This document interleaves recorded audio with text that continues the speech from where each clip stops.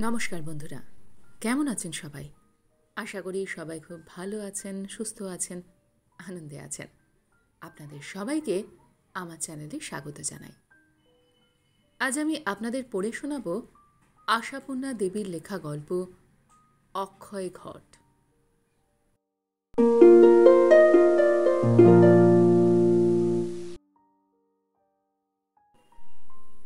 মুঠোয় চাপা কাগজখানা প্রথমে হাতের উত্তাপে তপ্ত হয়ে উঠেছিল। ক্রমশ ভিজতে শুরু করেছে। হঠাৎ আগুন হয়ে ওঠা মাথার রক্তটা এখন ঘাম হয়ে চুইয়ে হাতের তালুতে নেমে আসছে স্নায়ুর শিরার পথ বেয়ে অথচ এই কাগজের টুকরোটা কোনো অকারণ লোকসানের দলিল নয়, অন্যায় শাস্তির নোটিশও নয়। সুন্দর, সুদৃশ্য মূল্যবান একখানি নিমন্ত্রণ পত্র পত্রের মাথার উপর শাঁখের ছাপ আছে। প্রজাপতিকে প্রণাম আছে। এ চিঠি বিরামের মাথার রক্তে আগুন ধরিয়ে দিল কেন? কেউ আগ্রহের মুখ নিয়ে বাড়ি এসে নিমন্ত্রণ করে যায়নি বলে? পোস্টে পাঠিয়ে দায় সেরেছে বলে? নিমন্ত্রণ তাই অপমানের মূর্তিতে দেখা দিয়েছে?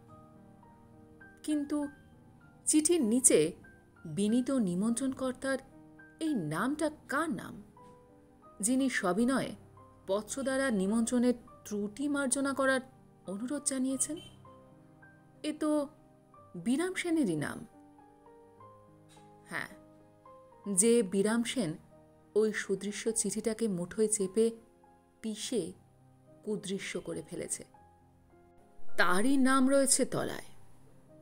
আগামী কোনো এক তারিখে তার কন্যা কল্যাণিয়া শুভার শুভ পরিণয় উপলক্ষে সকলকে সবান্ধবে আসার আমন্ত্রণ জানিয়েছে ভদ্রলোক।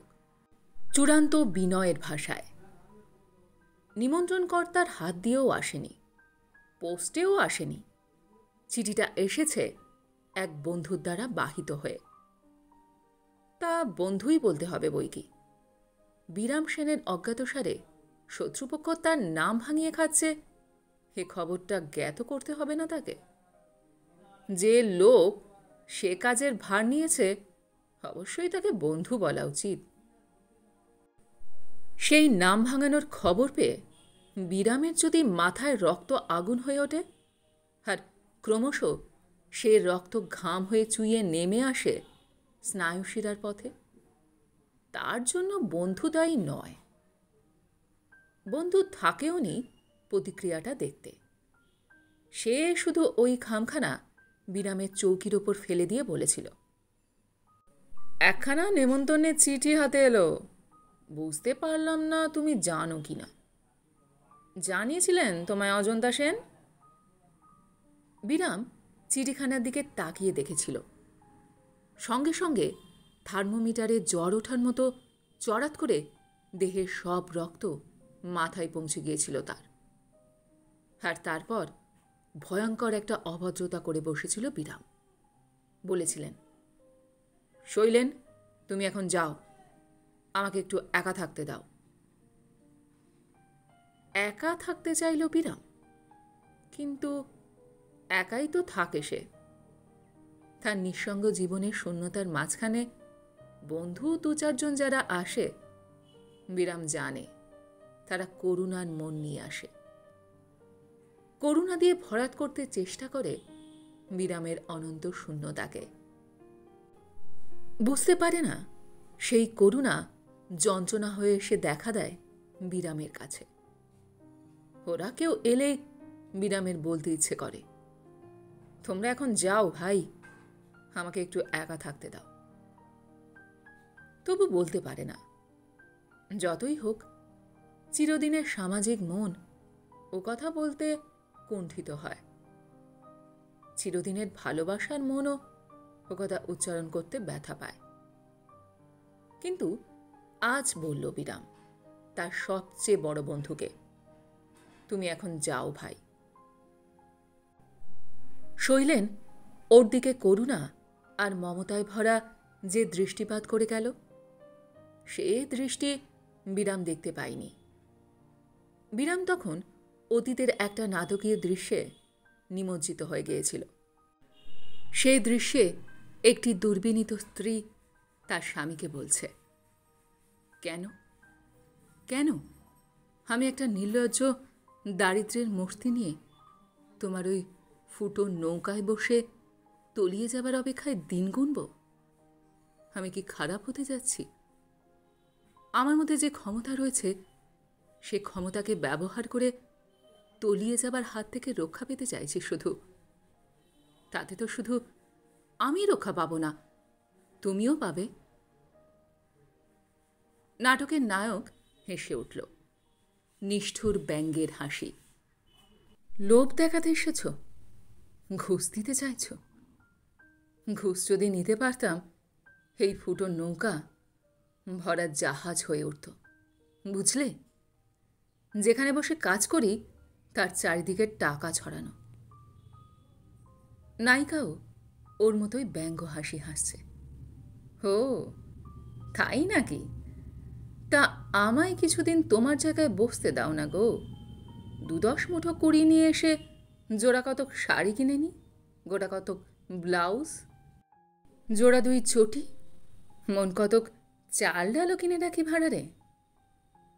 নায়ক উষ্ণ হচ্ছে। নায়ক তীব্র হচ্ছে। বলছে, সে ভাড়ারের মাল অবশ্য একা তোমারই ভোগে লাগবে। দুর্বিনীতা আবারও হাসছে। কটু, কুৎসিত, নির্লজ্জ। বলছে, ওহো, তুমি যে আবার নীতিবাগেশ মহাপুরুষ। স্ত্রীর সৎ উপার্জনের টাকা খেতেই তোমার মাথা কাটা যায়। তা আবার ঘুষের টাকা। নায়ক দৃঢ় গলায় উত্তর দিল, স্ত্রীর সৎ উপার্জনের টাকা হলে মাথা কাটা যেত না। দেহভঙ্গি দেখিয়ে যে উপার্জন, আমি তাকে অসৎ বলি, ঘৃণা করি। দেহভঙ্গি দেহ বিকৃত নয়। অসভ্য নির্লজ্জ নায়িকা তার মুক্তর মতো দাঁতে হায়নার মতো হাসি হেসে বলে, তাতেই এত সুচি পাই বেশ, তো তুমি নিও না টাকা।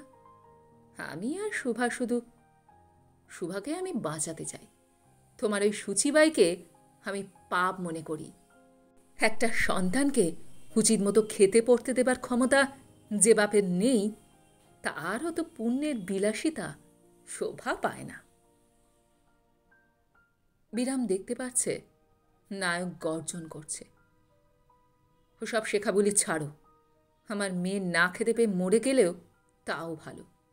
মা থিয়েটার করার টাকায় বাঁচবার দরকার নেই তার। কি? কি বললে? ওই তো, বললাম, থিয়েটার করা হবে না তোমার।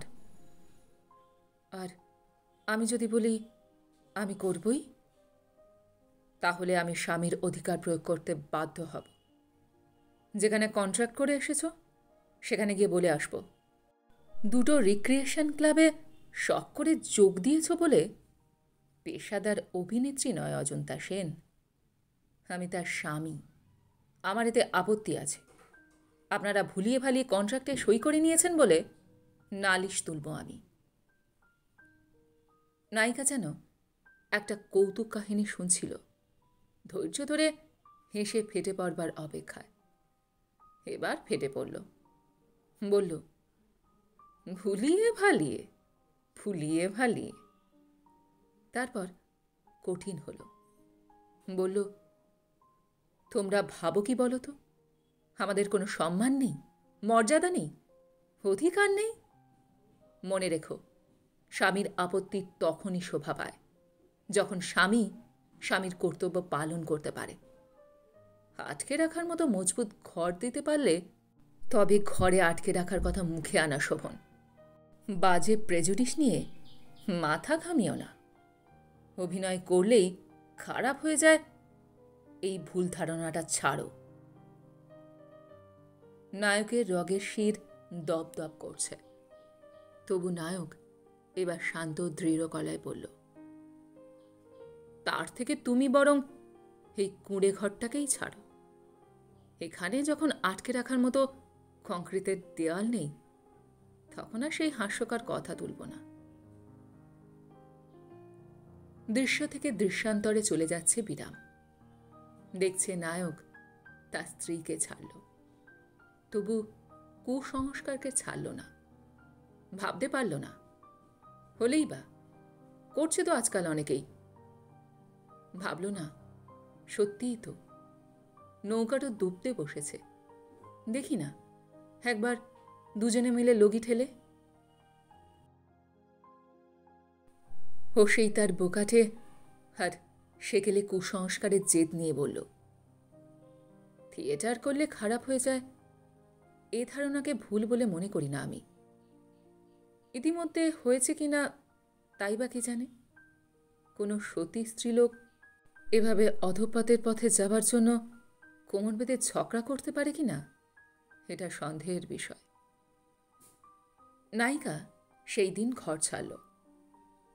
অবশ্য ব্যাপারটা সহজে মিটল না। চার বছরের মেয়েটাকে নিয়ে কারাকারি লড়াই চলল কিছুদিন। কিন্তু কোর্ট মেয়েটাকে মায়ের হাতে সমর্পণ করল। কারণ নায়িকা কোর্টে দাঁড়িয়ে বলল ও মেয়ে যে বিরাম সেনের, প্রমাণ করুক বিরাম সেন সে কথা। সামান্য একটু মতান্তরে কেউ স্ত্রীকে ত্যাগ করে কিনা তাই ভাবুন মাননীয় বিচারক। হ্যাঁ এমনই করেই নিজের মুখে চুনকালি মাখিয়েছিল ওই উদ্ধত, অসভ্য নায়িকা। তারপর সেই নাটকে জবনিকা পড়েছিল। বিরাম সেন প্রমাণ করতে যায়নি। মেয়েটা ওর নিজের কিনা। চেষ্টাই করেনি। চলে এসেছিল। প্রথমে এক দুঃসম্পর্কের বিধবা দিদির বাড়িতে থেকেছে অজন্তা। তারপর পালা বদল হয়েছে। সেই বিধবা দিদি এখন অজন্তার বাড়িতে থাকেন। অনেক পয়সা হয়েছে এখন অজন্তার। বাড়ি একখানা কিনে ফেলে নিজেই গুছিয়ে বসেছে সেই বাড়িতে। অজন্তার নিজের ভাই ভাজ অজন্তাকে ত্যাগ দিয়েছে। কিন্তু অন্য আত্মীয়রা তা দেয়নি। কৌতূহলে পড়ে যাওয়া আসা করে কেউ কেউ। কেউ বা থিয়েটারের পাশ পাবার আশায় যোগাযোগটা রেখেছে। শুধু থিয়েটারই বা কেন, সিনেমারও। মঞ্চাভিনেত্রী অজন্তা দেবীর তো এখন পর্দাতেও প্রবল চাহিদা। হ্যাঁ অজন্তা আর সেন নেই, দেবী হয়ে গেছে। কিন্তু অজন্তা কি সত্যিই ভালো আছে এখনও? তার প্রাক্তন স্বামী বিরাম সেনের ধারণা সত্যিই ভুল? তা যদি হয়, তবে ওর বাড়িতে ওই রূপবান পুরুষটি কে? যে নাকি অজন্তা দেবীর সংসারের কর্ণধার? ঐশ্বর্য মানেই তো ঝঞ্ঝাট। অজন্তার ঐশ্বর্য হয়েছে। কাজেই ঝঞ্ঝাটও অনেক হয়েছে। সবই তো দেখে শোনে ওই ভদ্রলোক। কেন? কিসের দায়ে? বিনা দায়ে কে কার করে? আর প্রেমের দায়ের বড় দায় আর কি আছে? অজন্তা কি তবে বিরাম সেনের ওপর প্রতিশোধ নিয়েছে? ভেবেছে কলঙ্কই যদি কিনতে হলো, তবে আর সেটা অকারণ রাখব কেন? ভেবেছে মাননীয় সমাজ যদি আমায় বিনা দোষেই ত্যাগ করে, তবে আমি আর সমাজের পা জড়িয়ে মুখ থুবড়ে পড়ে থাকব কেন? জীবনকে তাই আবার নতুন ছকে সাজিয়েছে অজন্তা? অজন্তার কথা অজন্তাই জানে। তবে লোকে জানে। অজন্তার বাড়িতে যে রূপবান পুরুষটি বাস করে, সে অজন্তার আত্মীয় সমাজের কেউ নয়। যারা অজন্তার সঙ্গে যোগাযোগ রেখেছে, তারা তো জানেই। যারা যোগাযোগ রাখেনি, তারাই কি জানে না? যদি না জানবে, তবে আর বিরাম সেনের মাথায় রক্ত ঘাম হয়ে গলে গলে নেমে আসছে কেন? দেহের প্রতিটি স্নায়ু শিরার পদবে কেন? কেন? কেন অজন্তা দেবী তার মেয়ের বিয়ের নিমন্ত্রণপত্রে মেয়ের বাপের পরিচয়ে বিরাম সেনের নাম ব্যবহার করেছে? কোন স্পর্ধায়? কোন দুঃসাহসে? বিরাম সেন নামের লোকটা তার কন্যা কল্যাণিয়া শুভার শুভ বিবাহে বন্ধু, কুটুম্ব, আত্মীয়দের আহ্বান করেছে অজন্তা দেবীর নিউ আলিপুরের বাড়িতে। কেস করব আমি ওর নামে। জেল খাটাবো ওকে। সম্মানহানির অভিযোগ আনব। ওর মেয়ের বিয়ের ঘটা ঘুচিয়ে দেব। ওকে আমি দেখে নেব। পাগলের মতো অনেক কিছু ভাবতে থাকে বিরাম, দ্রুত পায়চারি করতে করতে। অজন্তার ধৃষ্টতার পরিমাপ করতে পারছে না বিরাম। তাই ব্যালেন্স হারাচ্ছে। কি করে এত সাহস হলো ওর? কি করে? পয়সার জোরে? পয়সার জোরে বুকের পাটা এত বাড়ে মানুষের? ভয়ঙ্কর এই দুঃসহ স্পর্ধার কাছে এক্ষুনি ছুটে যেতে ইচ্ছে করে বিরামের। বিরাম কি অ্যাসিড বাল্ব নিয়ে যাবে পকেটে ভরে? ছুঁড়ে মারবে সুন্দরী অভিনেত্রী অজন্তা দেবীর কমলদল স্বদেশ মুখের ওপর চিরদিনের মতো অহংকার ঘুচে যায় তাতে। খুনই যাবে বিরামের। তবু নিজেকে সামলায়। না, এক্ষুনি যাওয়া হবে না। যেতে হবে সেই বিবাহ রজনীর রাজকীয় সমারোহের আসরে। অজন্তা দেবীর গণ্যমান্য অতিথিদের সামনে কৈফিয়ত তলব করবে। কোন স্পর্ধায়? তুমি তোমার ওই ক্রিমি কিট অবৈধ কন্যার পিতার নাম হিসাবে আমার নাম ব্যবহার করেছ? কৈফিয়ত দাও। বেশ একখানা সিন হবে। হিংস্র একটা হাসি ফুটে ওঠে বিরামের মুখে। সেই ঠিক হবে। উৎসব করা ঘুচে যাবে শ্রীমতী অজন্তা দেবীর। সমারোহ করছেন বই কি? খুবই করছেন। এই নিমন্ত্রণ পত্রটাতেই যা খরচা হয়েছে, বিরাম সেনের এক মাসের মাইনে। যত ভাবে খুন আরও চেপে ওঠে। এক্ষুনি গিয়ে ভয়ঙ্কর, বিভৎস কিছু করে ফেলতে ইচ্ছে করে। তবু ধৈর্য ধরতে হবে। একটা সিনের প্রলোভন ত্যাগ করতে পারে না বিরাম। কতক্ষণ ধৈর্য ধরতে হবে? গুলি পাকানো কাগজটা আবার খুলে ধরে বিরাম। তখন তো তারিখ দেখেনি, দেখতে পাইনি। এখন তারিখটা মিলিয়ে দেখে। দেখল আগামীকালই সন্ধ্যায় শেষ হবে ধৈর্যের পরীক্ষা। পরদিন আবার এলো বন্ধু শৈলেন। বলল, তারপর? মেয়ের বিয়ের বরকর্তা হয়ে যাচ্ছ তাহলে? বিরাম একটা অদ্ভুত হাসি হেসে বলল, যাচ্ছি। শৈলেন অবশ্য ব্যঙ্গ করেই বলেছিল। অর্থাৎ উত্তরটাও ব্যঙ্গই ভাবল। তারপর করুণায় কোমল হলো সে। বলল, বাস্তবিক কাল থেকে শুধু এই কথাটাই ভাবছি। পয়সা হলে দুঃসাহস কত বাড়তে পারে মানুষের। মিসেসকেও খুব শুনিয়ে দিলাম। বললাম, তোমরা মেয়ে মানুষেরা না পারো, এমন কাজ নেই। হঠাৎ ঘুরে দাঁড়াল বিরাম। আর ওর সবচেয়ে নিকট বন্ধুকে ভয়ানক একটা বিস্ময়ের ইট মারল। বলল, পয়সা না হলেও দুঃসাহস বাড়তে পারে শৈলেন আমার পয়সা হয়নি। তবু দেখো, দুঃসাহস করে বলছি, তুমি আমার সমন থেকে চলে যাও। তোমাকে দেখতে আমার খারাপ লাগছে। তোমার কথা শুনতে আমার ঘেন্না করছে। বন্ধু, এই ইটের ঘাটায় প্রথমে থতমত খেল, তারপর শুধু বলল, ও। তারপর তীর বেগে বেরিয়ে গেল। বিরাম, একটা উল্লাসের হাসি হাসল। শিকার করে শিকারী যে হাসি হাসে, সেই হাসি।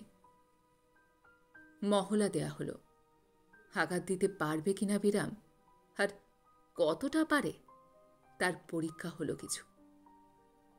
এখন শুধু ঘণ্টা, মিনিট, সেকেন্ডের গণনা। অবশেষে এলো সেই প্রতীক্ষিত সন্ধ্যা। ঘাটছের একটা টুইল শার্ট পরে নিল বিরাম। হাত ময়লা একটা ধুতি। এই তার যুদ্ধ সাজ। Acid bulb?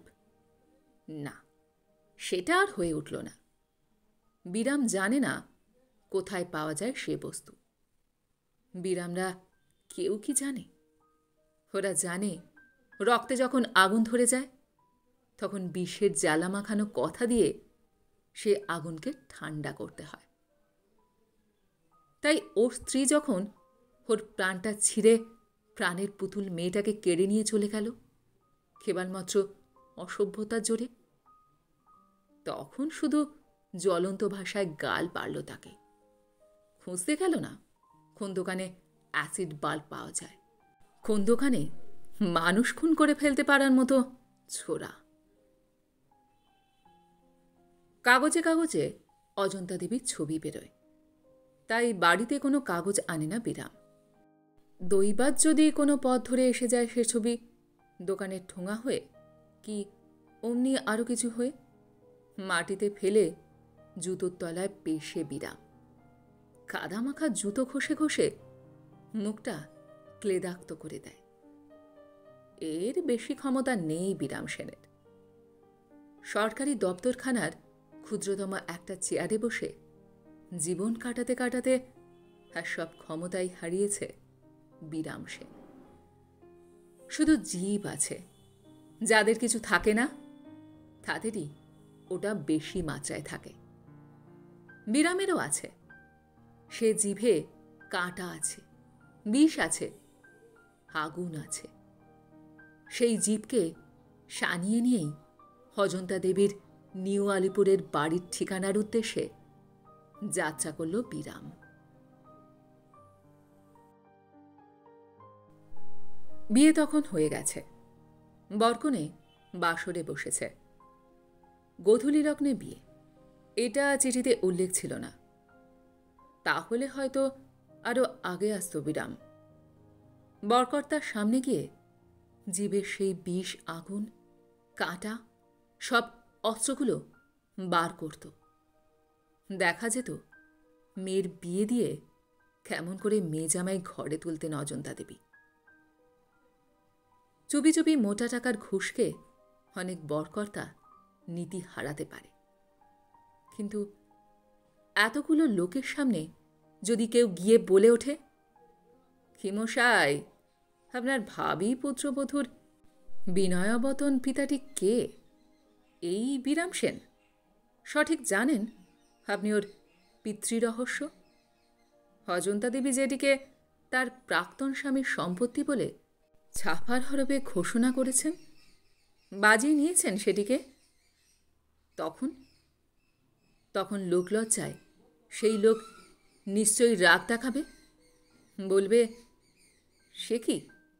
জানতাম না তো। নিশ্চয়ই বলবে, বর উঠিয়ে নিয়ে যাব। বিয়েটা গধূলি লগ্নে হয়ে গিয়ে সেই সিনটা থেকে বঞ্চিত হল বিরাম। আসর থেকে সিন করে বিদায় নিলে হয়তো অজন্তা দেবীর সঙ্গে দেখা হতো না।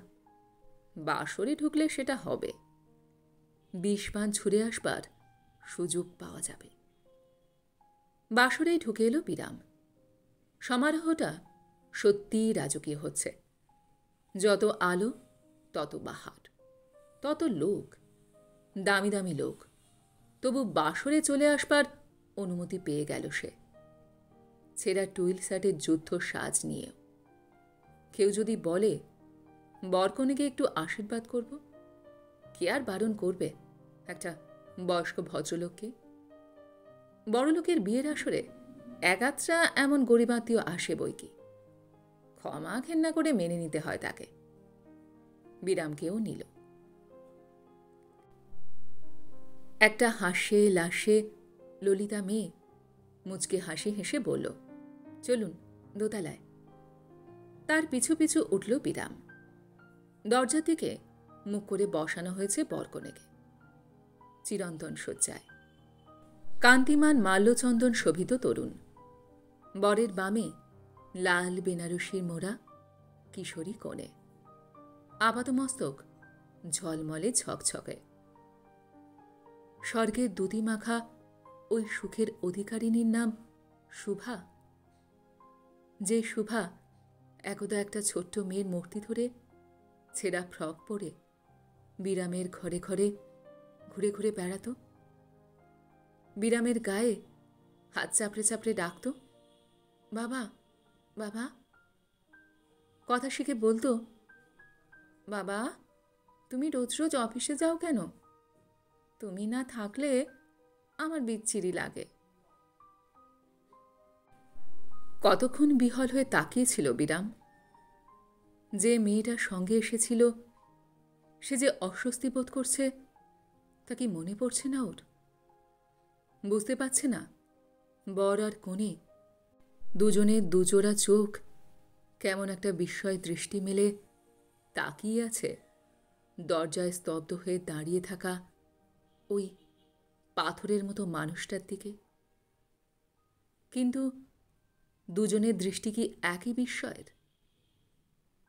হঠাৎ একটা ভীত বিস্মিত কণ্ঠ বেজে উঠল দরজার পাশে। কে? কে আবার উপরে উঠে এসেছে? কি? বলছে কি? না জেনে শুনে কেন যে তোরা?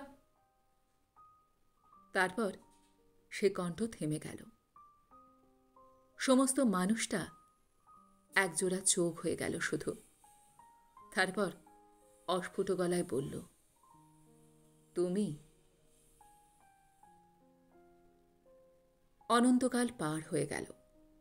সেই চোখ আবার কথা কয়ে উঠল, তুমি এসেছ? তোমার শুভাকে আশীর্বাদ করতে? বিরাম সেনের সেই জীব কি হারিয়ে গেল? মহা মুহূর্তে কর্ণে যেমন রথের চাকা বসে গিয়েছিল, অর্জুনের গান্ডীব তৃণ শূন্য হয়ে গিয়েছিল। তাই বিরাম সেন শুধু বলল, এলাম। তবে এসো।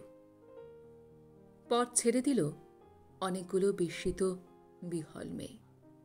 ছেঁড়া টুইল শার্ট পরা বিরাম সেন বরকনের সামনে রাখা ধান দুর্ব রেকাবি থেকে তুলে নিল দুকণা ধান দুর্ব কাঁপা কাঁপা হাতে। সেই হাতটা রাখল কোণের আনত মাথায় মুকুট ছুড়িয়ে চুলের ওপর। হাতটা আরও বেশি কাঁপতে লাগল। তার সঙ্গে রোগা রোগা পা দুটো।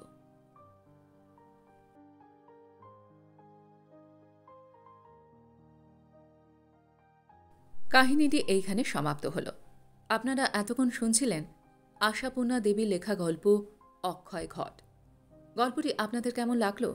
কমেন্ট সেকশনে অবশ্যই লিখে জানান। যদি আমার গল্প পাঠ আপনাদের ভালো লেগে থাকে, তাহলে লাইক, শেয়ার অবশ্যই করবেন। আর এই ধরনের সুন্দর সুন্দর কাহিনী আরও শোনবার জন্য আমার চ্যানেলটি সাবস্ক্রাইব করতে ভুলবেন না কিন্তু। তবে আজ এই পর্যন্ত আমি খুব তাড়াতাড়ি আবারও অন্য কোনো কাহিনী নিয়ে আপনাদের কাছে চলে আসছি। সবাই খুব ভালো থাকবেন, সুস্থ থাকবেন, আনন্দে থাকবেন। নমস্কার।